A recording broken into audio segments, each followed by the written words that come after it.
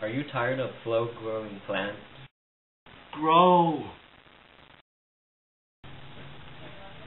Do you want your plant to look like this? Yeah! If so, ethylene is for you. So what is ethylene, Jimmy? Well, ethylene is a hydrocarbon consisting of only six atoms. And it is a gaseous byproduct of kerosene combustion and also produced by plants. Yeah! So you're saying that ethylene is a gas that promotes fruit ripening and helps regulate growth, right? Correct.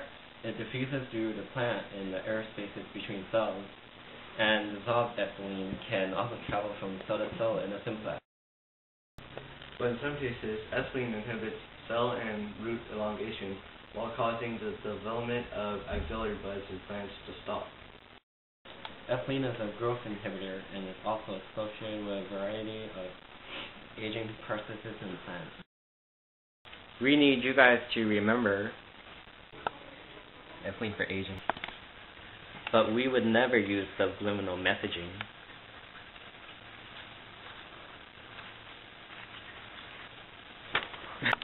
Ethylene for aging. Now let's step outside and see how ethylene really works in nature. Or aging in plants can occur at the level of individual cells, entire organs, or the whole plant.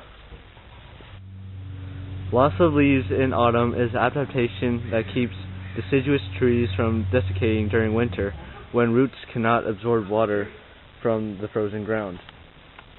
And nutrients are stored in the stems and recycled in the following spring. Chlorophyll production stops, so the leaves lose their green color.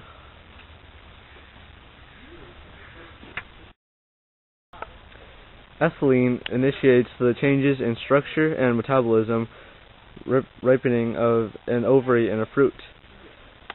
Uh, it also triggers the aging of cells which release more ethylene so the signal to the ripening spreads.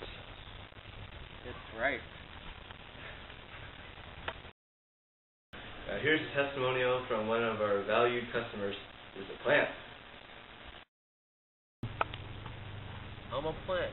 I need ethylene.